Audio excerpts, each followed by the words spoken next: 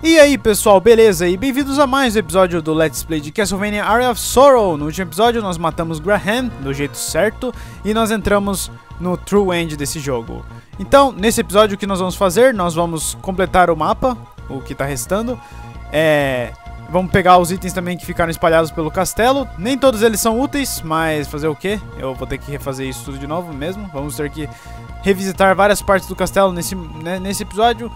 E o que mais que eu vou fazer também? Ah, é, e nós vamos matar um chefe, um chefe muito difícil, aliás. Mas é isso aí, é isso que nós vamos fazer nesse episódio. Então, siga meus bons. O primeiro, primeiro item que nós vamos pegar agora vai ser a Foice da Morte e o Manto da Morte.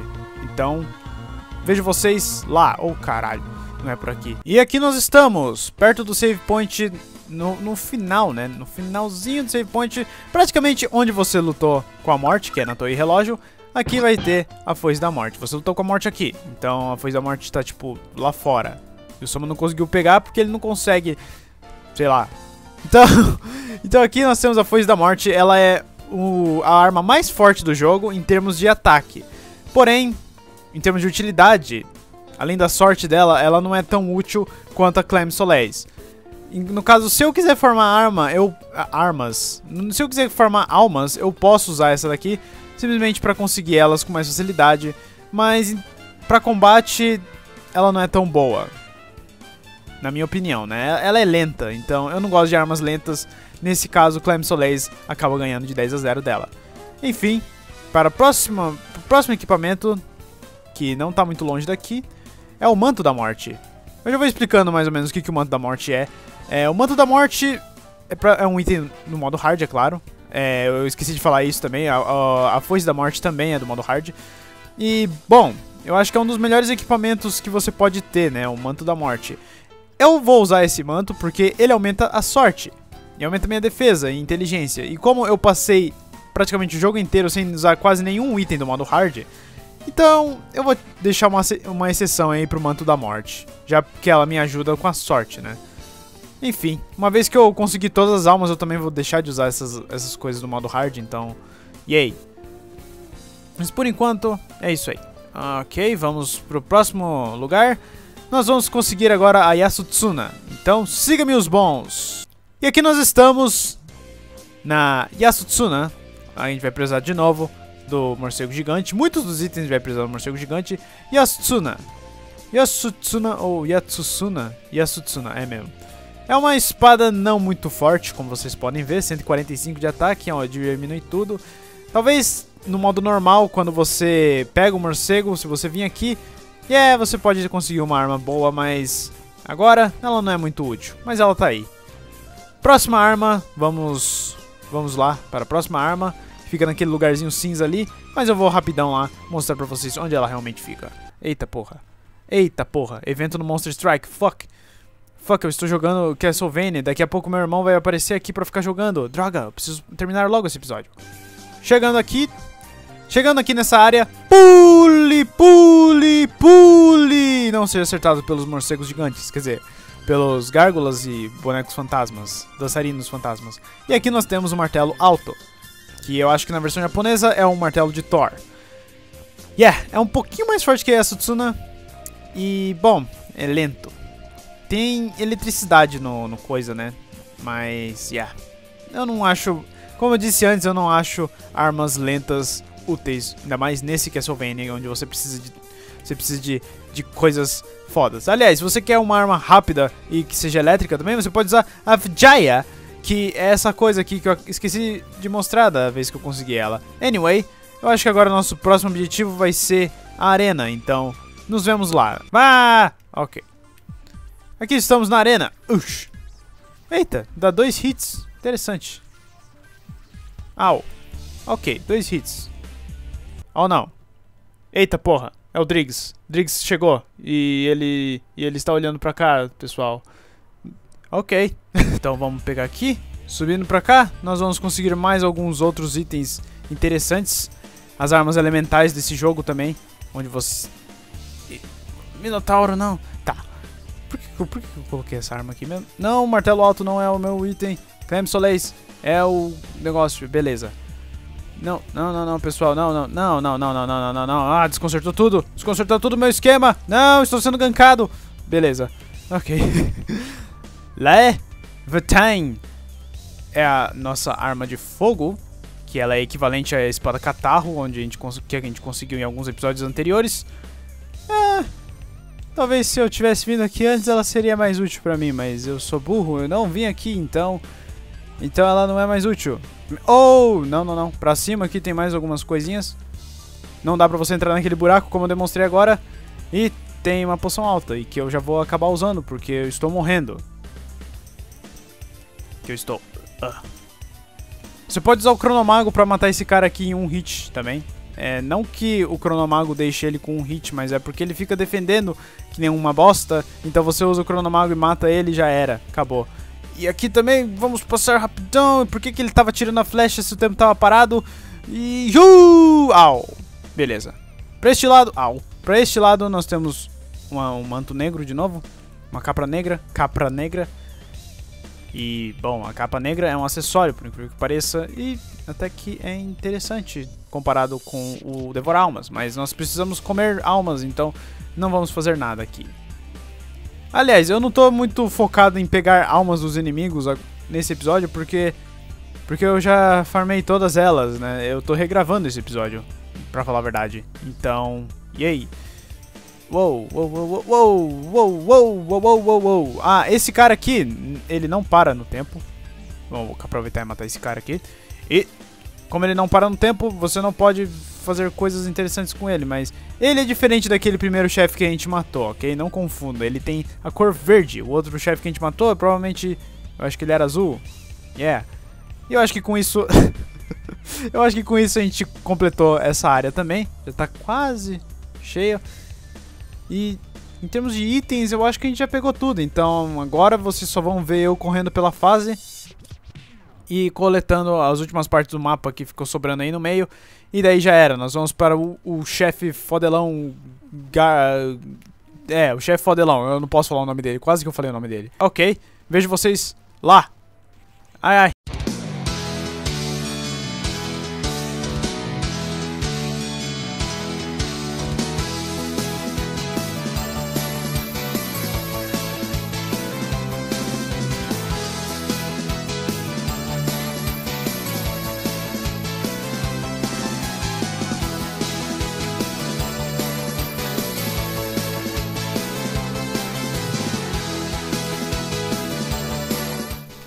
Ah, é, eu esqueci. Nessa parte aqui do mapa, a gente consegue a armadura de fogo. E, bom, ela dá defesa pra fogo, então... Interessante. Teria sido melhor, né, se, se eu tivesse usado essa armadura na época que eu estivesse lutando com aquele gigante maldito, mas não, eu não ia conseguir acessar esse lugar aqui sem o um morcego, então eu não sei o que eles estavam pensando quando eles colocaram essa armadura aí. Depois disso eu nunca mais luto com ninguém de fogo. Então eu não sei. E aqui tem uma chapa de cobre, eu, eu, yeah, mas era uma área que eu não tinha explorado antes, então... Ok, agora está explorado.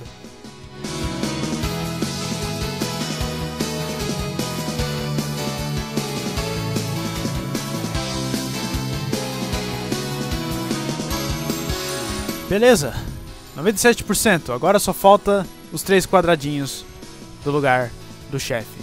Sorte que o teletransporte já tá aqui pra cima, então ah, não, não. We, ah, merda. We, uh, fuck, gárgula. Estranho. Eu também não sei nada de mitologias bizarras, então, yeah. Ok. Antes da gente ir pra lá, vamos voltar pra este teletransportezinho muito maroto. E vamos falar com a mina, porque, por que não? Acho que ela vai, ela vai nos dar algumas dicas. Oh, agora uma coisa muito bizarra, pessoal é que eu estou fazendo vozes. Eu vou fazer vozes pela primeira vez com minha família escutando. Isso vai ser bizarro. Bem-vindo de volta. Você, você é o Soma, não é? É. O que houve com você? Você está tão assustador? N não aconteceu nada. Não quero que ela saiba de verdade. Ei, Mina. O que foi? Se eu não fosse mais o Soma, como você se sentiria? O que, o que, o que, o que é de errado? O que é de errado? Ouça, se se minha aparência não mudasse, mas no interior eu fosse outra pessoa, como isso faria você se sentir? que diabos estou dizendo? Esqueça o que eu te disse, ok? É, ok. Hum, eu, não, eu poderia não gostar mais de você, e esse seu olhar me assusta. Prefiro ver o seu exterior mudado, mas não o interior. Por favor, me perdoe por acaso eu mudar. Se por acaso eu mudar. É, está difícil de ler. O que quer dizer com me perdoe? N não é nada, tenho que ir agora. Não, só me espere! Haha, Deus! Ei, cara, tu tá meio diferente, algum problema? N não, não é nada. Sério? Sendo assim? O que pode te... Oh, espirro do Triggs. Enfim, agora a gente pode... Agora estamos prontos pra lutar contra o chefe mais foda desse jogo. Sério, eu acho que nem o último chefe do jogo, o verdadeiro último chefe do jogo, não deve ser tão difícil quanto esse chefe que a gente vai lutar agora, que é o um cara e é isso aí. Quem poderá ser? Será que será que seria o Arikado? Arikado, que tem um nome muito parecido com com outro personagem foda do Castlevania. Aliás, eu tô jogando Symphony of the Night hoje, ultimamente. Eu coloquei o código da sorte, que é o X-X, aspas, aspas, uh, exclamação, que? Eu sei lá como que faz o código. O jogo tá difícil agora. Symphony of the Night não é muito difícil, né? E, bom, com aquele código as coisas mudaram simplesmente. Até que jogando o jogo me deu vontade de fazer um let's play do Area Area of Night, Symphony of the Night, mas mas eu não sei, eu não sei, eu, eu queria fazer, sei lá, uma versão diferente, talvez a versão do Sega Saturno, mas não tem pro PC, eu teria que emular o Sega Saturno, o que é foda porque ele não grava. Sega... Ah, eu posso gravar porque agora tem um OBS, é verdade! Ok, eu vou tentar fazer alguma coisa uh, em questão a isso. Bom, voltamos aqui e agora a, a porta da escuridão não está mais aberta, porque agora nós somos Drácula e agora a gente pode abrir a porta. Yeah! 97%. Ah, eu esqueci de, de explorar uma área da... Do, não! Eu esqueci de explorar uma área. Ah, tudo bem. Eu faço isso no próximo episódio. Rapidão. Entramos aqui. E quem estará nos esperando? Pauli! Oh, meu Julius Belmont. Oh, não. Julius. É o melhor. É, Julius. Então você é o escolhido. Eu não queria acreditar. É verdade, eu sou o Drácula, mas eu não sou o que você... Ah, droga. Eu devo matar o Drácula, a todo custo. Esse é o meu destino. Não, espere! Eu não quero lutar contra você. Nada que você me disser irá me impedir. Prepare-se para morrer. Oh, meu Deus! Ok, eu esqueci de mudar as almas nessa parte aqui. Mas... Yeah, nós estamos lutando contra G G Julius. E, bom, eu vou colocar a caça-cabeças aqui para eu ficar mais forte. É, o boneco elétrico vai me ajudar por uma parte. E em vez de Clem Soleis, vamos colocar a Kalat Bolg. Porque ela é escuridão, a Clem Soleis é luz. Só pra é, provar pra vocês uma coisa. Aqui, 33 é o meu dano com a Clem Soleis. Agora com a Kalat Bolg, eu tiro 82. Beleza. Uou. Então, Julius, ele, ele é foda, porque ele dá muito dano, e eu acho que o seu melhor amigo mesmo vai ser aquela de Bolg. Eu estou morrendo! Eu estou morrendo! Eu estou morrendo. É, é, uxa. Beleza, mas é só você ter calma e ele não é um chefe tão difícil também. É um dos chefes mais divertidos de se lutar, porque ele faz tudo que um player faz, né? Então, a única coisa é que ele não toma dano quando você toca nele. Isso que é bizarro, porque eu sou o Drácula e ele é simplesmente um caçador de vampiros. E então, ele deveria tomar dano se ele tocasse em mim e não eu tocar nele. Ah! Mas yeah. Yeah. Uxa! Uma coisa que eu devia ter feito também é aumentar o volume da música do, do chefe, porque... Dar, porque a música desse chefe é simplesmente muito foda. Uh, tá bom, tá bom. Ok, ok, ok, Julius. Ah, merda! É foda que ele consegue ler certinho seus movimentos, cara. Uou! Yeah. Yeah, Julius. Você, você... Ai! ok. ok, Julius. Mas então, por, por um bom tempo ele vai ficar só usando o chicote dele em você. Depois de um tempo ele vai começar a usar os itens dele. Daí a porra fica séria, de verdade. Por enquanto ele só tá, tipo, brincando. Só tá brincando o Chuck Norris de chicote aqui. Eu acho que ele parece... Não, não, é Indiana Jones, né? Ele lembra bastante de Indiana Jones. Indiana Jones eu lembro que ele era um cara foda, apesar de nunca ter assistido nenhum filme dele. E agora eu devo ter perdido alguns inscritos, porque eu nunca assisti um filme do Indiana Jones. Viu as coisas que você fala, Pedro? Não faz nem sentido nenhum. Ok, ele spamou o chute dele e... Bom, se fudeu. Vamos, Julius, comece a usar os seus itens, que é a parte mais da hora do seu gameplay. Sim, é, eu deixei isso em segredo, outras pessoas já devem ter comentado nesse vídeo. Não nesse vídeo, eu não sei o que eu tava fazendo por um tempo, eu tava pensando em morrer, eu acho. Mas, yeah, o Julius ele é jogável se você zera o jogo uma vez com ele. E, bom, como eu tô jogando no modo hard, significa que a gente já pode jogar com o Julius. Mas, uxa! Eu não sei se eu vou fazer um, um playthrough com o Julius também, né? Vai depender do pessoal. Aqui ele fez o Holy Cross, e depois desse, a partir desse momento, ele começa a usar os itens dele. Eu não sei nem porque eu fui pego, eu devia ter usado a minha alma da coisa, né? É que eu queria mostrar o ataque. Bom, é foda, eu tô, eu tô falando por cima de mim mesmo. Tá. Mas agora, Julius... Julius começa a usar os itens dele, os itens dele dói de qualquer jeito também. Principalmente o Holy Cross e Holy Water, que é essa bodeguinha que ele joga no chão aí. O machado, nem tanto. Ele, quase ele nunca acerta o machado. É difícil de você acertar o machado, até mesmo com um personagem normal é difícil de acertar o machado. É, eu tenho que lembrar... Ah, é, agora você começou a usar seus, seus, seus itens especiais. Vou começar a usar... Ô, Julius, vai... Para de ficar dançando thriller aí, mano. Pelo amor de Deus, cara. ok, ok. Ok, estamos quase morrendo. Não é nem o chefe que está quase morrendo. O Julius tem muita vida, cara. Da última vez que eu lutei com ele aqui, na, no, no episódio que eu gravei, ele tava me dando dano exato. E eu também tava dando dano exato nele. E, meu Deus do céu, 50... Gastei todas as minhas poções já. Por favor, Julius, morra. Yeah. Fuck you, Julius. Opa. Ó, vou desrespeitar você agora, hein, Julius. Vou tentar... Tentar usar, ó. Aí, ó, o desrespeite aí, ó. Chute na cara. Oh! Ele me deu um chute na cara também. Mas eu faço de novo. Ai! Ele faz de novo também. E aí, matamos o Julius. Caraca, que dificuldade. Pare, já é o bastante. Eu mudei a voz de repente. Por que você não me mata? Porque a gente inverteu as vozes, cara. Caramba. Você pegou leve comigo. Eu posso sentir a força de um Belmont. Não, a força de um caçador de vampiros é maior que isso. Quando lutei contra você, senti o espírito maligno dentro de você. Mas além disso, também senti seu espírito. Isso é mais que o suficiente para me pedir. Eu tenho um favor para te pedir. O que é? Daqui em diante partirei. Ah, ah, calma aí, deixa eu. Deixa.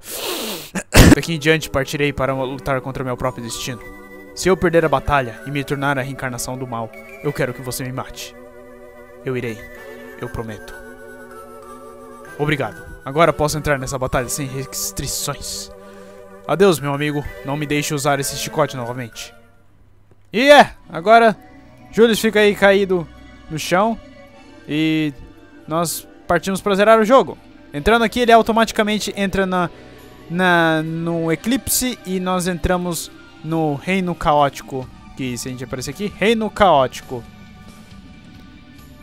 O Reino Caótico, caótico ele é praticamente uma junção de vários levels do, desse, desse castelo. Como o nome diz, ele é caótico. Mas no próximo episódio nós vamos voltar aqui. Eu ainda preciso consertar esse 97% também. Mas eu acho que eu nem vou fazer isso em câmera, porque não é uma área importante do jogo, né? Então, é isso aí, pessoal. Eu espero que vocês tenham gostado desse episódio. Gostou do vídeo? Clique no gostei, seus favoritos, deixe um comentário. Não esqueça de seguir a página do Facebook e do Twitter, que é lá onde eu posto todos os meus vídeos.